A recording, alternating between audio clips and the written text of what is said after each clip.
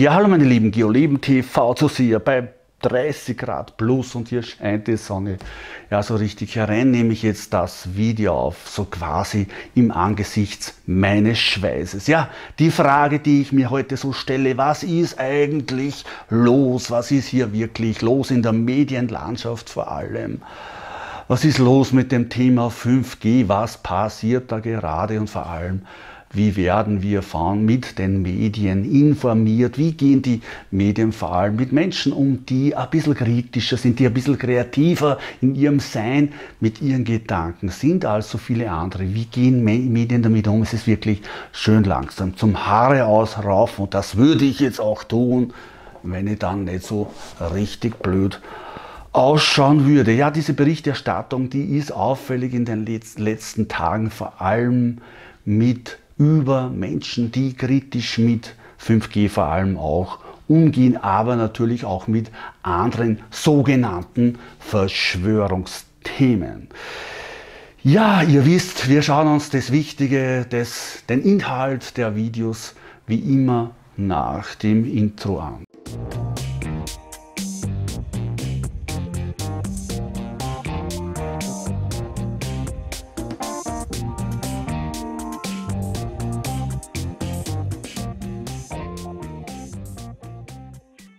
Ja, hallo, ähm, hallo, hallo, hallo, meine Lieben. Hier bin ich wieder, der Geo von Geo Leben TV und bewusst gesund bei Geo. Wie gesagt, es ist unglaublich auffällig, wie in den Medien mit unliebsamen Themen umgegangen wird, vor allem mit den Menschen, wie man darüber schreibt, wie man sie betitelt und definiert. Gerade 5G wird ja jetzt im Zuge von der Corona-Krise ja fast unbemerkt umgesetzt, fast unbemerkt. Ja, die Sendemasten, die schießen ja wie Pilze aus dem Boden.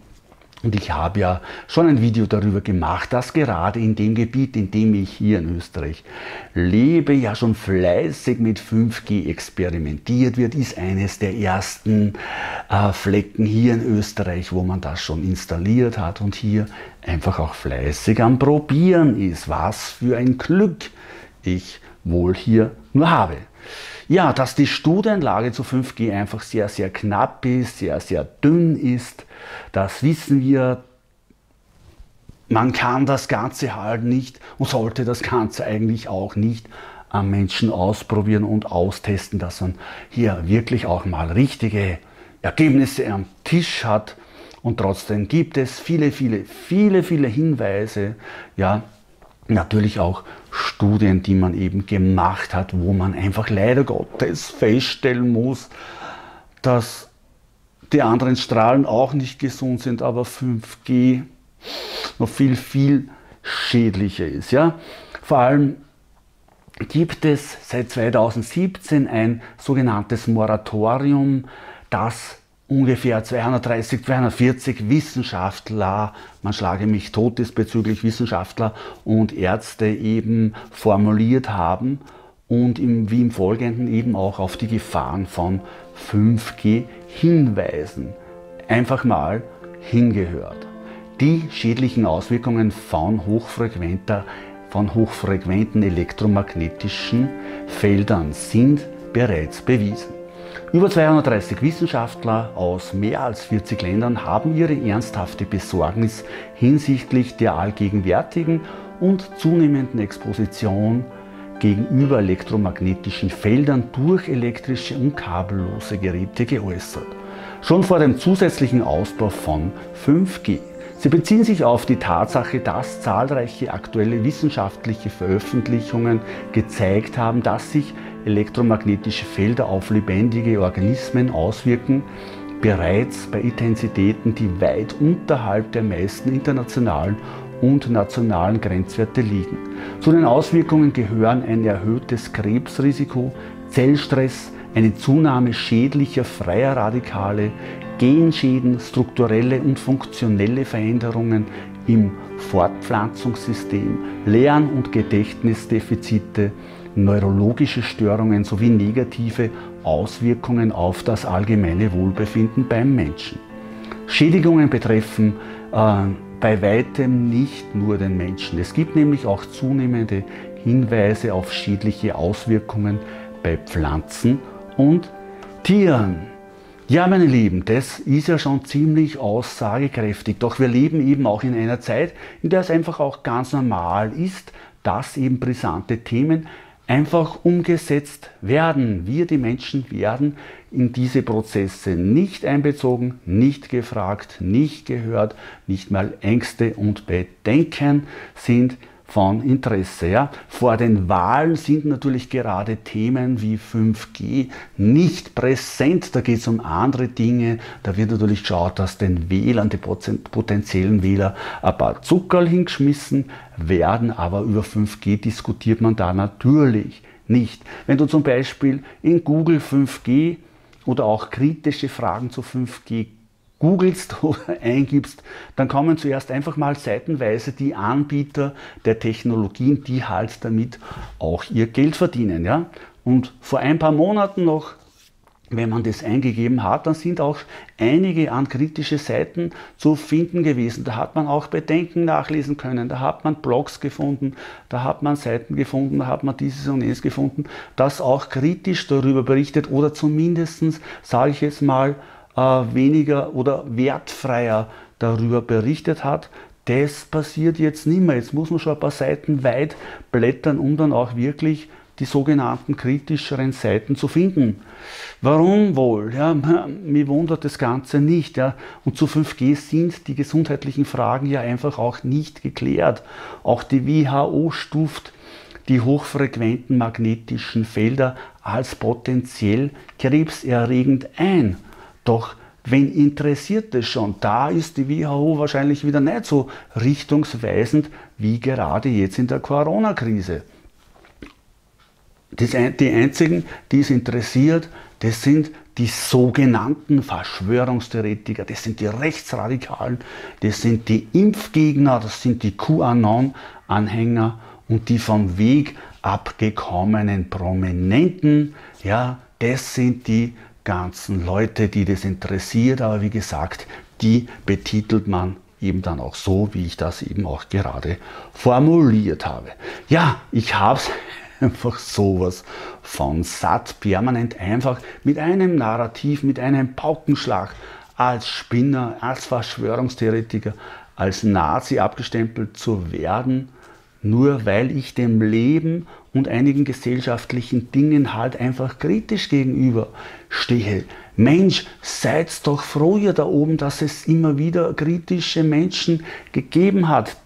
Solche, die Fragen gestellt haben, die nicht alles blindlings geglaubt hätten. Wo wären wir denn, hallo, wenn es keine Menschen gegeben hätte, die Fragen gestellt hätten? Ja, ich bin einfach froh, es ist ganz normal, dem Leben einfach auch kritisch gegenüber zu stehen, die Dinge zu hinterfragen. Ja? Ich bin froh, ein Maß an Kritikfähigkeit, ein Maß an Nachfragen, ein Maß an Neugierde, ein Maß an Wissen wollen, warum gewisse Dinge so sein sollen, wie es die da oben jetzt einfach uns vorgeben. Ja? Ich bin froh, dass ich so bin, dass ich mir das auch erlernt habe, auch kritisch eben auch zu sein, zu hinterfragen. Ja, als Mensch mit gesundem Hausverstand werde ich einfach automatisch mit wirklichen Nazis, mit kruden Theorieverbreitern in einen Topf geschmissen und das reicht einfach. Natürlich gibt es auch Menschen, die wirklich die, die lustigsten und die wirklich schon die spannendsten Dinge hier einfach auch, sage ich mal, in die Waagschale schmeißen. Und die sind dann auch aus meiner Sicht diejenigen, die das Ganze halt dann ähm, leider Gottes in dieses Licht bringen, weil man halt dann nur mehr auf die hinschaut, auf diejenigen, die halt sagen, ja, es gibt eine innere Erde, die sagen, die, die Erde ist flach und lauter so Dinge. Klar, da werden wir dann ins Lächerliche gezogen, was aber auch wieder nicht heißen muss, dass man automatisch alle so sieht. Das ist natürlich dann auch denen, die hier berichten, die in den Medien viele, viele verunglimpfen, denunzieren, natürlich auch freigestellt, einfach wirklich alle Menschen gleich in einen gleichen Topf zu schmeißen oder hier einfach auch zu differenzieren, was denn auch ein Medienmann, ein Journalist eigentlich gut gut können müsste. Das ist ja denen eigentlich ihr Kompetenzbereich. Das müssten die eigentlich super gut können zu berichten, zu beschreiben, nicht ständig zu werten, ständig Dinge zu vorzugeben, hier äh, immer wieder autosuggestiv einfach hier vorzugeben, Menschen einfach was in den Mund zu legen. Die sollten das eigentlich können, hier wirklich wertfrei zu formulieren und zu berichten. Ja, es ist doch einfach auch erkennbar und es ist sichtbar, wenn man Menschen sieht, solche wie mich und viele, viele andere, dass die einfach mit, mit Nazitum, mit Antisemitismus, mit absoluten Spinnereien einfach genauso wenig zu tun haben, genauso wenig am Hut haben, wie zum Beispiel eben der Weihnachtsmann Ähnlichkeiten hat mit dem Riesen von Lengau. Das ist also eh wurscht, ob man den kennt oder nicht. Die haben einfach keine Ähnlichkeiten und genauso ist es mit uns Menschen, die hier wirklich aufs Leben schauen, die hier einfach kritisch hinterfragen, genauso ein saublöder Vergleich, uns permanent als rechtsradikale Spinner abzustempeln. Das gebe ich jetzt einfach hier mal zurück. Liebe Medien, ihr seid dafür verantwortlich, sofort oder so, so, eine, so eine Vorgehensweise hier wirklich einreißen zu lassen oder eingerissen haben zu lassen, dass man Menschen, die einfach ein bisschen kritisch sind, sofort in diese Narrative hineinspeist. Nazis, rechtsradikal, verrückt, Spinner, Verschwörungstheoretiker. Das ist Kindergarten. Das ist Kindergartenjournalismus. So hat man es vor 100 Jahren den kleinen Kindern gelernt, wahrscheinlich eben auch euch wesentlich früher. Das ist Kindergartenjournalismus. Das hat wirklich mit objektiver, mit objektivem Journalismus, mit objektiver Berichterstattung so gar nichts zu tun. Nichts, nichts, nothing, nichts. Ja? ja, eins muss ich euch ja zugute halten, liebe Medien. Ihr sagt eh nicht, dass alle Nazis sind. Ihr sagt nicht, die sind alle Nazis, die sind alle rechtsradikal. Habe ich noch nirgends gelesen. Aber ihr schreibt es halt so, äh, dass diese Menschen immer in diesen Lagern zu finden sind in der Nazi, in der rechtsradikalen Szene zu finden sind, in der Verschwörungstheorie-Szene zu finden sind. Ich habe sogar schon gelesen, die Eva Hermann und der Bob, der Andreas Bob, auch die werden mittlerweile beschuldigt, dass sie hier ein, Recht, ein rechtes Lager aufziehen. Hallo, Leute, was ist denn los mit euch? Könnt ihr denn überhaupt nicht mehr hier ein bisschen ein bisschen objektiv mit Gefühl denken. Wo habt ihr eure Menschlichkeit gelassen? Nur mal des Geldes willen, der Macht willen, Menschen zu denunzieren, schlecht zu machen, sie ins Feuer zu schmeißen. Grauslich, wirklich grausig.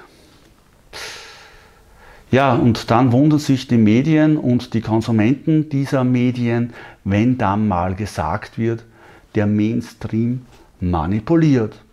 Ja? Ich meine, von dem abgesehen ist es eh so. Natürlich wird manipuliert, so oder so. Man kann positiv manipulieren, man kann negativ manipulieren und das wäre an und für sich ja eigentlich auch, die Verantwortung der Medien zu wissen, dass ihre Meinung hier natürlich manipulativ ist. Ja? Und deswegen sollte man hier so unglaublich sorgsam einfach damit umgehen, aber nicht eben so, indem man einfach automatisch immer alle, was? Was? Was du äh, zu Corona, ah, du bist der Meinung, dass man hier vielleicht ein bisschen differenziertere Maßnahmen setzen lässt. Ah, du bist ein Corona-Leugner. Leute, so geht's einfach nicht. So geht's nicht. Das machen dreijährige Kinder im Kindergarten so. Die können es noch nicht anders. Die haben nur die Meinung, die kennen nur die Meinung von, Mama, von der Mama und vom Papa. Ja? Aber die können nicht differenzieren. Bitte differenziert's wieder. Was soll das Ganze? Ja, ja es wird einfach Zeit. Es wird einfach Zeit. Ja? Es wird nicht mehr ganz es wird nicht einfach beschrieben, sondern am Beispiel, wenn man es zum Beispiel so sagt, ja, Da waren drei Menschen und die haben auf einer Demo gesagt, dass sie befürchten, dass viele unliebsame Gesetze während der Corona-Zeit umgesetzt würden. Das könnte man so berichten. Menschen sagen das so. Wir befürchten, dass während der Corona-Zeit gewisse Gesetze einfach mal so durchgewunken werden. Das könnte man so schreiben. Und sagen, aha, da gibt Menschen, die befürchten was. Aha, ist ja interessant. Und wenn die Politiker sagen, aha, da gibt es da gibt's Menschen, die befürchten was. Um das können wir uns kümmern. Die fragen wir mal, warum sie sich fürchten. Nein, so passiert es nicht. Ja? Da sagen Menschen was, dass sie was befürchten. Und wie steht es dann in der Zeitung? Wie steht es dann eben drinnen? Ah, Verschwörungstheoretiker.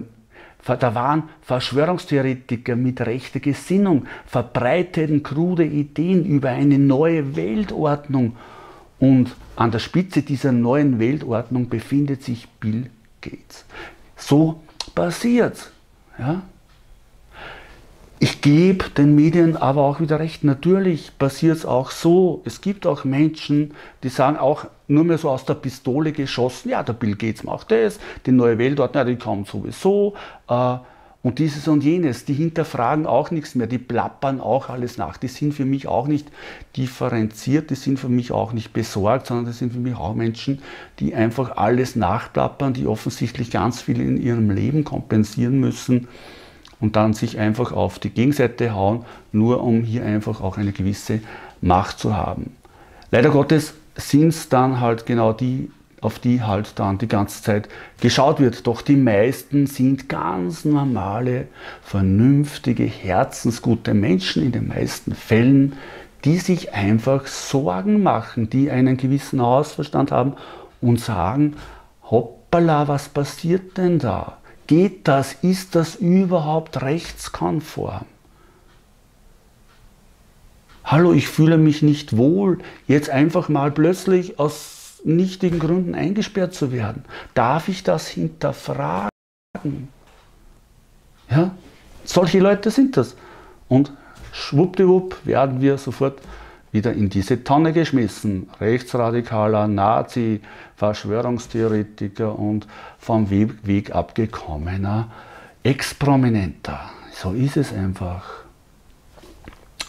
Ich habe gerade mit einer Kollegin auch gesprochen, die mir einfach auch sagt, dass eben in den Medien gerade wieder die Demo, die eben am 1. August, also morgen, oder heute, gestern, je nachdem, ich, wann ich das Video rausbringe, dass eben die Demo vom 1. August genauso, dass hier auch genauso wieder verbreitet wird. Eine Horde von Verschwörungstheoretikern, von Corona-Leugnern, von Nazis und so weiter, die sich hier in Berlin treffen wird. Auch genau wieder dieses Nar diese Narrative werden hier verwendet. Eine Horde von Nazis, Rechtsradikalen, Verschwörungstheoretikern.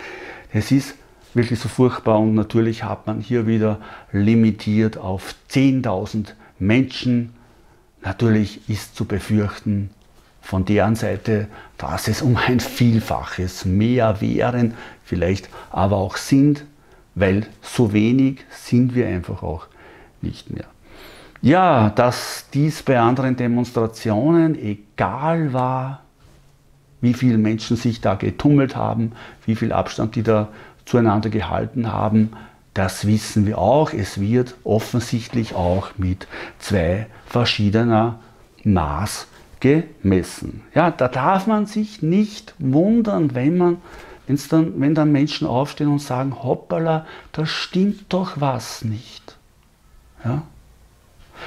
Ich kann euch nur sagen, liebe Leute, ihr da oben, wo auch immer, ich traue von mir zu behaupten, ich bin überzeugt, ich weiß es, es ist einfach so.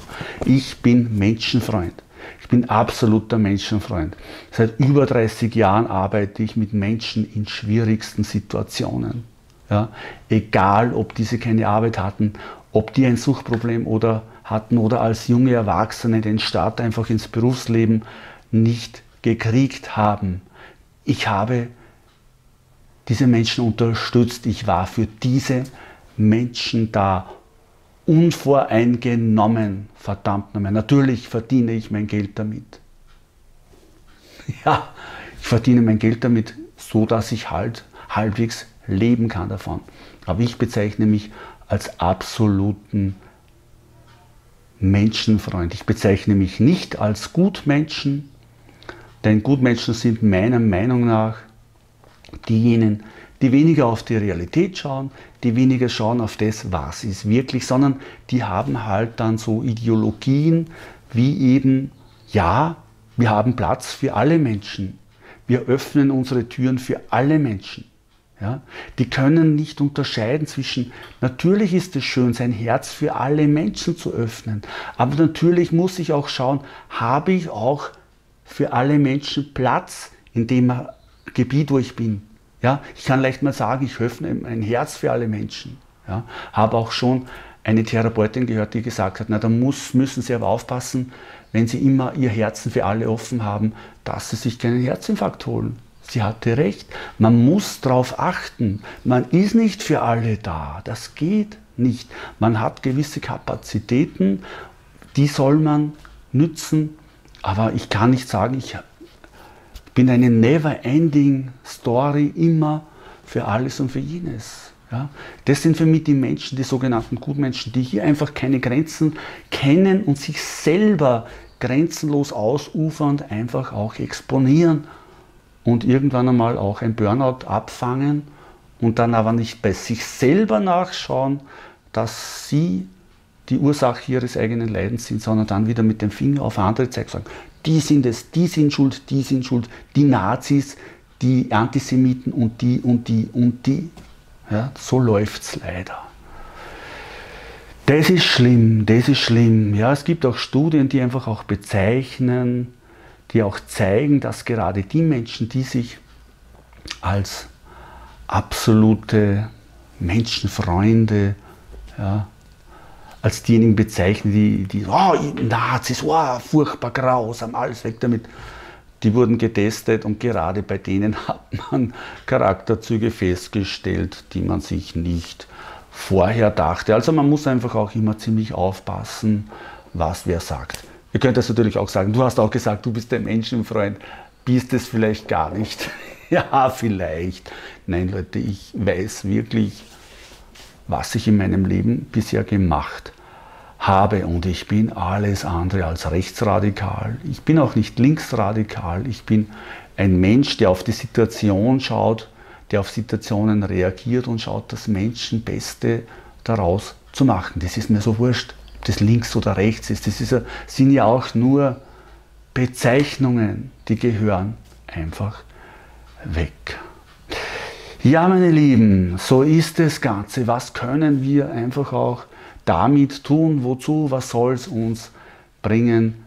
Es ist einfach ganz, ganz wichtig, hier einfach dessen bewusst sich zu sein, dass hier Menschen einfach auch dahinter stecken, die die ja nicht mehr differenzieren, die überhaupt nicht mehr differenzieren. Und wir dürfen uns von denen nicht fangen lassen und nicht eben auf dieselbe Stufe steigen und dann einfach zurückkämpfen und uns dann wirklich auch wie, wie eben gewalttätige Verhalten oder sonst irgendwie was, sondern wirklich bei uns zu bleiben, differenziert zu bleiben, sich nicht in die linke oder rechte Ecke drängen zu lassen, sondern als Mensch, der eigentlich zentriert ist in seiner Mitte, ist und aus dieser Mitte raus agiert und reagiert. Immer genauso, wie es halt einfach im Augenblick wichtig ist.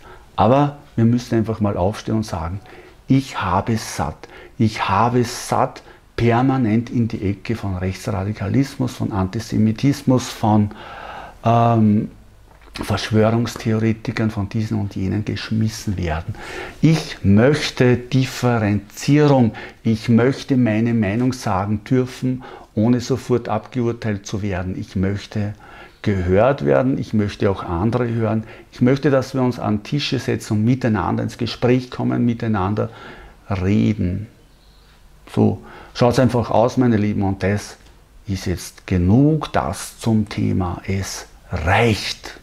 Alles Liebe von mir aus, Geo, GeoLeben TV. Lasst mir einen oder mehrere Daumen hoch da. Schreibt mir vor allem auch eure Meinung in die Kommentare. Und schaut auf meine Homseite bewusst gesund bei Geo, bewusst gesund Geo Sixt Lebensmut.at wird hier natürlich eingeblendet. Schaut's drauf. Alles Liebe von meiner Seite. Wir sehen uns beim nächsten Video. Baba, ciao, tschüss und Servus.